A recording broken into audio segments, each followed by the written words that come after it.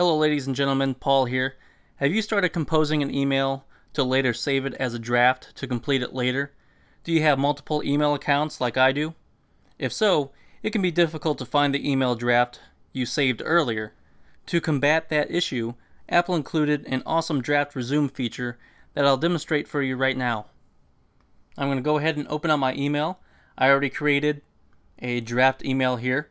So I'm going to go ahead and type some gibberish right here. And then I'm going to go ahead and hit cancel in the upper left hand corner and save this as a draft. I'm going ahead and save that. Now to bring your draft back up, all you have to do is just hold down the compose icon in the lower right hand corner. Just hold it down. And your draft pops right back up and you can carry on the email right from there. I'm just going to go ahead and send it. Send it without a subject and it's off. So that is how you resume a draft.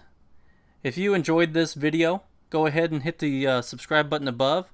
I really hope you enjoyed it. Don't forget to follow me on Twitter and Facebook. Those links will be in the description below. And again, don't forget to hit the subscribe button above. That way you will be able to see other videos like this when they come available in your subscription box. And best of all, it's free, so subscribe now. Thanks for watching. This is Paul. God bless.